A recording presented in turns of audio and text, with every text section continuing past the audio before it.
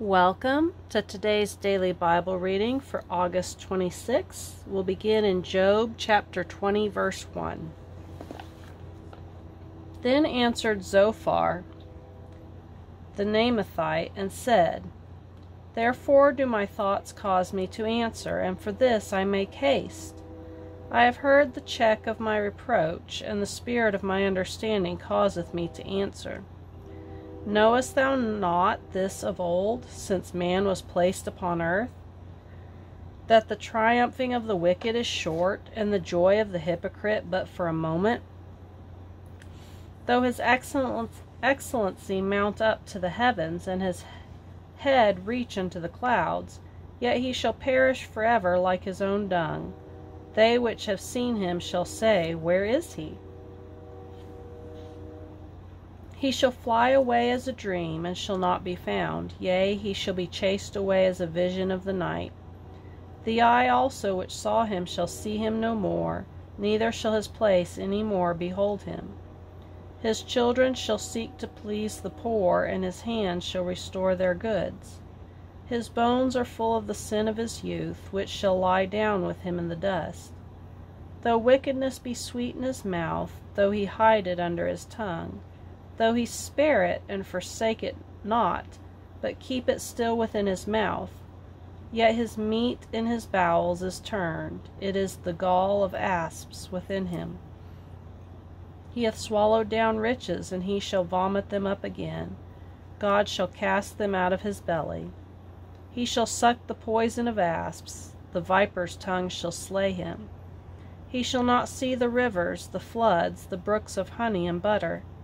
That which he labored for shall he restore, and shall not swallow it down; according to his substance shall the restitution be, and he shall not rejoice therein. Because he hath oppressed and hath forsaken the poor, because he hath violently taken away a house which he builded not, surely he shall not feel quietness in his belly; he shall not save of that which he desired. There shall none of his meat be left, therefore shall no man look for his goods. In the fulness of his sufficiency he shall be in straits; every hand of the wicked shall come upon him. When he is about to fill his belly, God shall cast the fury of his wrath upon him, and shall rain it upon him while he is eating. He shall flee from the iron weapon, and the bow of steel shall strike, through, strike him through. It is drawn, and cometh out of the body; yea, the glittering sword cometh out of his gall. Terrors are upon him. All darkness shall be hid in his secret places. A fire not blown shall consume him. It shall go ill with him that is left in his tabernacle. The heavens shall reveal his iniquity, and the earth shall rise up against him. The increase of his house shall depart, and his goods shall flow away in the day of his wrath. This is the portion of a wicked man from God, and the heritage appointed unto him by God. But Job answered and said, Hear diligently my speech, and let this be your consolations. Suffer me that I may speak, and after that I have spoken, mock on. As for me, is my complaint to man? And if it were so, why should not my spirit be troubled? Mark me, and be astonished, and lay your hand upon your mouth. Even when I remember I am afraid, and trembling taketh hold on my flesh. Wherefore do the wicked live, become old, yea, are mighty in power? Their seed is established in their sight with them, and their offspring before their eyes. Their houses are safe from fear, neither is the rod of God upon them. Their bull gendereth and faileth not, their cow calveth, and casteth not her calf. They send forth their little ones like a flock, and their children dance. They take the timbrel and harp, and rejoice at the sound of the organ. They spend their days in wealth, and in a moment go down to the grave. Therefore they say unto God, Depart from us, for we desire not the knowledge of thy ways. What is the Almighty, that we should serve him? And what profit should we have if we pray unto him? Lo, their, their good is not in their hand. The counsel of the wicked is far from me.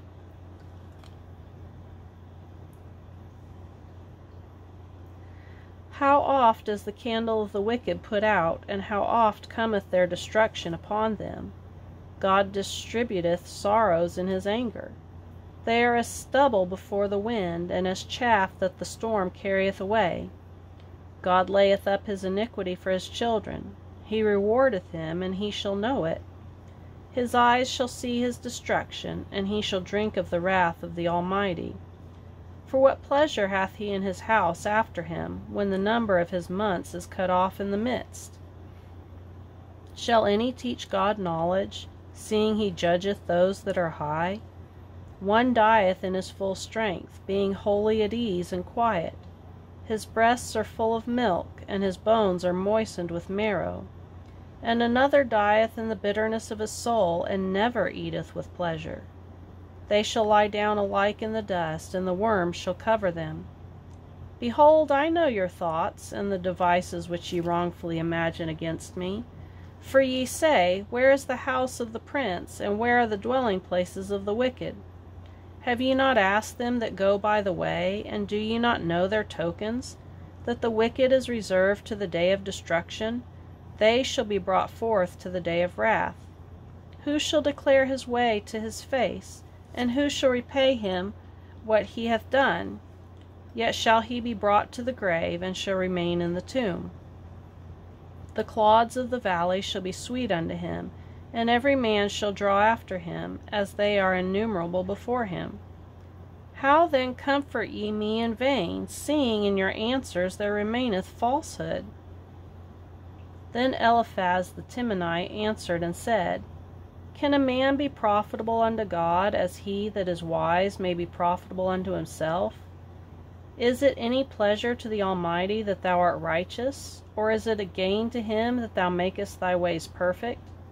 Will he reprove thee for fear of thee? Will he enter with thee into judgment? Is not thy wickedness great, and thine iniquities infinite? For thou hast taken a pledge from thy brother for naught, and stripped the naked of their clothing. Thou hast not given water to the weary to drink, and thou hast withholden bread from the hungry. But as for the mighty man, he had the earth, and the honorable man dwelt in it. Thou hast sent widows away empty, and the arms of the fatherless have been broken. Therefore snares are round about thee, and sudden fear troubleth thee. Or darkness, that thou canst not see, and abundance of waters cover thee. Is not God in the height of heaven? And behold, the height of the stars, how high are they? And thou sayest, How doth God know? Can he judge through the dark cloud? Thick clouds are a covering to him, that he seeth not, and he walketh in the circuit of heaven. Hast thou marked the old way which the wicked men have trodden, which were cut down out of time, whose foundation was overflown with a flood?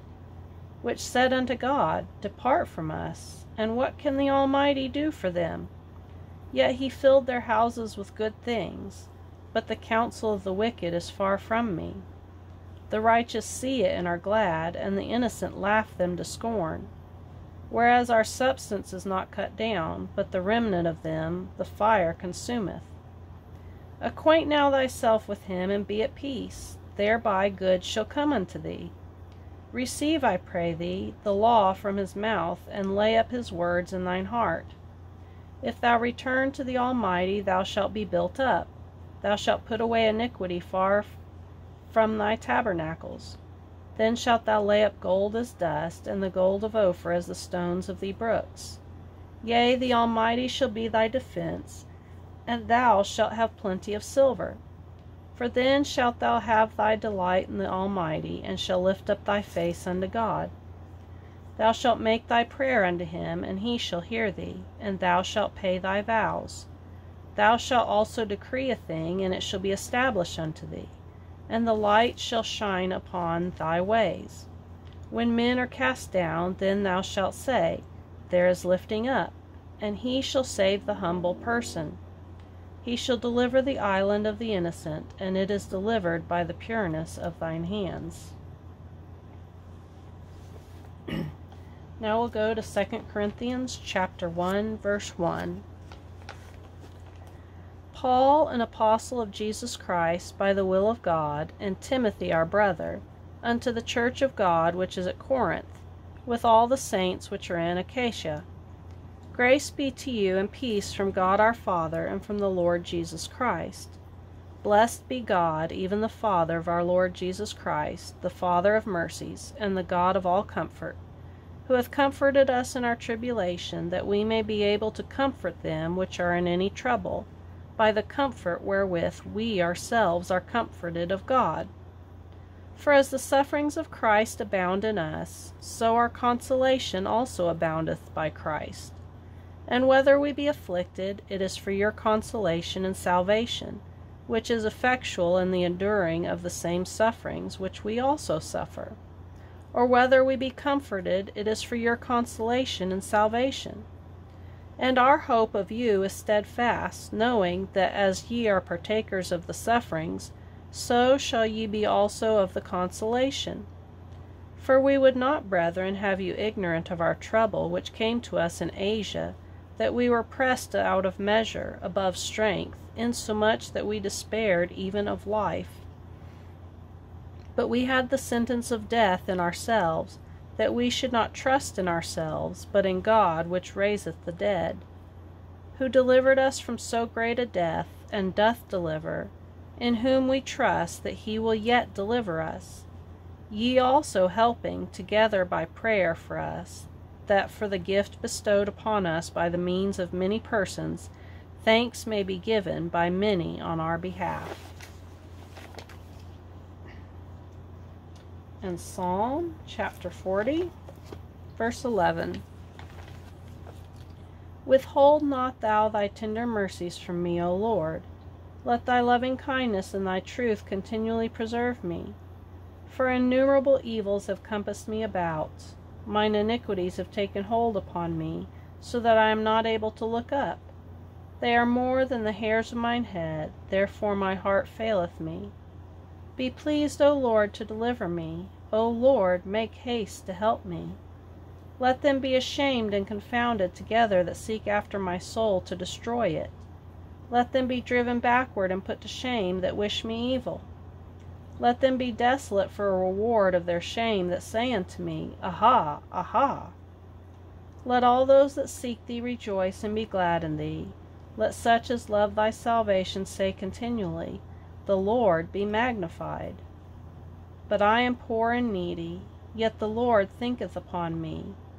Thou art my help and my deliverer. Make no tarrying, O my God and Proverbs chapter 22, verse 2 through 4. The rich and poor meet together, the Lord is maker of them all. A prudent man foreseeth the evil and hideth himself, but the simple pass on and are punished. By humility and the fear of the Lord are riches and honor and life.